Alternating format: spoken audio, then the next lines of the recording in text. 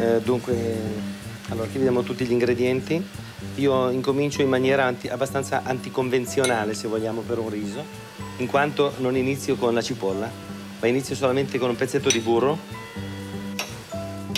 Io uso un semifino padano, che è un riso piccolo e non ricco di amido, come contrariamente sono altri risi tipo carnaroli. Lo bagno comunque con un po' di vino bianco.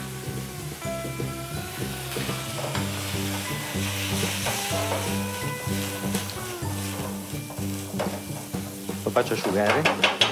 Altrimenti aggiungi sempre il brodo fino a quando arriva alla cottura.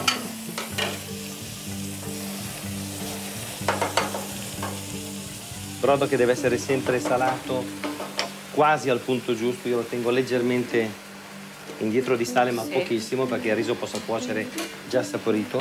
Faccio cuocere la cipolla in aceto e vino bianco. Quando è quasi completamente ridotto, aggiungo il burro e- ed emulsiono e faccio praticamente un beurre blanc o un no? che conserverò per mantecare il riso alla fine.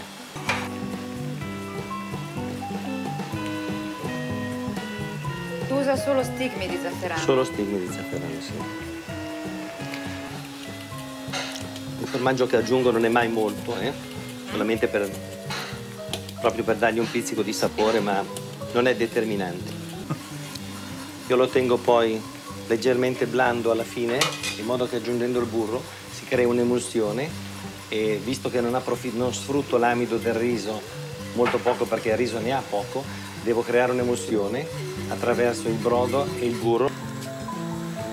E questa è la sorpresa, la foglia d'oro 24 carati. Mm, Questo potete immaginare non è che dia niente al sapore, ma comunque Questo in, un- in un- in un'epoca in cui si cerca di abbellire tutto, abbiamo cercato di abbellire anche un riso allo zafferano.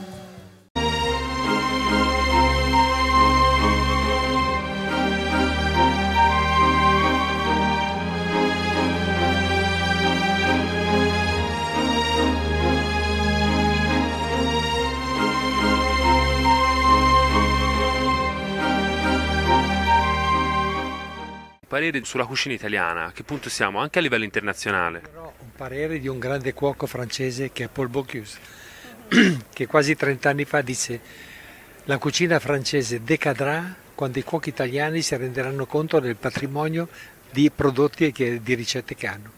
Diciamo, nella gestione di un ristorante è importante il ruolo dello chef, ma è importante anche il personale di sala, dal maître al sommelier. Quando ero bambino, bambino, ragazzino, sono, sono cresciuto in un albergo, pensavo che la cucina fosse l'80%, perché avevo dei grandi cuochi, devo dire, mio padre era bravo.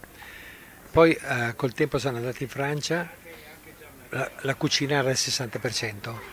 Oggi dico che se non è il 60% la sala, è anche il 50%, perché una buona comunicazione, un buon ricevimento, questa affabilità che abbiamo bisogno tutti, se non c'è quella, il, cu- il cuoco può fare qualsiasi cosa, ma Cosa si sente di dire ai giovani chef o chi intraprende questa professione? è il lavoro più difficile del mondo. Perché se pensiamo che diamo da mangiare alla gente, pensa che responsabilità abbiamo.